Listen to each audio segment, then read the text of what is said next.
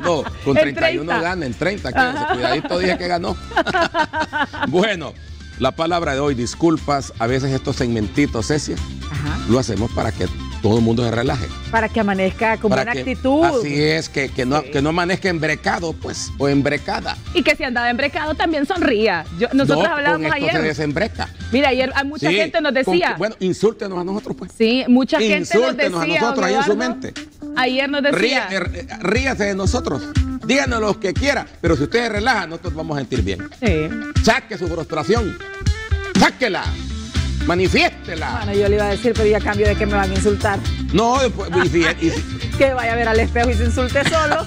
oiga. Porque que nos van a insultar a nosotros. No, pero, pero yo le voy a decir no, algo. Es no. cierto, ayer ¿A mucha de gente que usted va a aceptar que alguien le venga a insultar de la que nada? se desahogue sus frustraciones es que hay con que usted. así es. No, yo sé, por Hay eso le digo que lo entonces, mira que se vaya a ver al mira y dice, espejo ya y se están esas hurracas.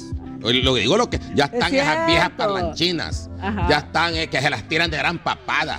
Y comienza. La santa y la diabla, Sí, dice, la- como nos sí. decían ayer, que ayer la gente en la calle se burlaba de nosotros y me decía, ajá, diabla Carolina y yo. "Oh, O Reprendo, sea, les usted se identificó. No, porque es que como ayer, don Eduardo, eso se hizo viral, se volvió tendencia, no se imaginen cuántas páginas ¿Cuál? de TikTok, todo lo que abordamos ayer, Los lo, esos. lo pude ver. Es que son realidades. Eso fue viral. Son verdades. Y su consejo del 2024, mucho más todavía, que las mujeres deben de ser agresivas. Entonces, Sí. mucha gente ayer que me encontraba... Agresivas, pero no, no de golpe. No de golpe, sino con su mujeres pareja. bueno, ya No. cachimbean las mujeres a los De hombres. lobo, al de loba. De lobas, que tienen que ser una loba, seducción, una amor, leona, fuego. Una leona, sí. ¿No Pero- fijado la leona cuando camina cómo le hace? Usted póngase en cuatro y vaya y avance y camine. Haga algo, haga musarañas. Mire, entonces la gente me decía ayer, don Eduardo. Ya me doña hicie- Miriam me me dijo, ya, el día. yo ya practiqué, yo ya soy loba, dijo doña Miriam.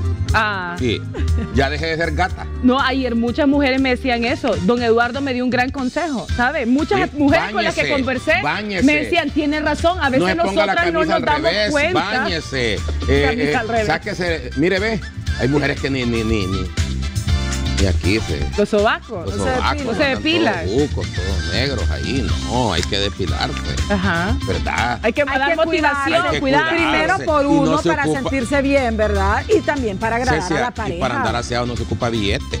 Claro que no, para ser aseado solamente es una condición Así de, es, una de condición. Mi mamá decía, si usted no tiene desodorante, póngase el limón. No, y además de eso también se píese la boca. Sí. Se píese la boca porque si va a besar al marido lo va a despedir usted o a la inversa. Y, y no es con claco, no es con cloaca que se despide.